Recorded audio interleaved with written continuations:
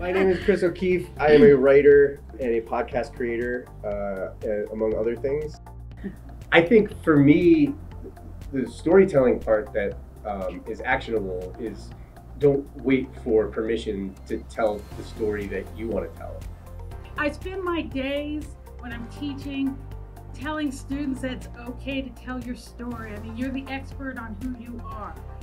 Every client I've worked with thus far, their market has been a representation of them at a certain part of their story, and they're honestly trying to help somebody solve a problem that nobody could help them solve.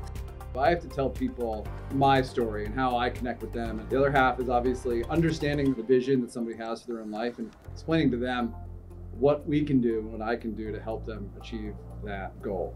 Storytelling for me was more about finding myself, who I am, and also understanding that I had a voice.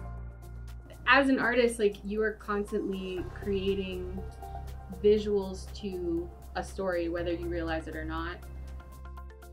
It can be really overwhelming to say, okay, like what am I tying my story? What is my story? Because it's it's hard. There's there's so many things that we could talk about on any given day. Um, how to tell the story even as a as a group, as a collaborative thing. What are what are what is this magical thing that we're that we're doing, um, that we're building? And, and if I think it makes it a little bit easier um, to dive into.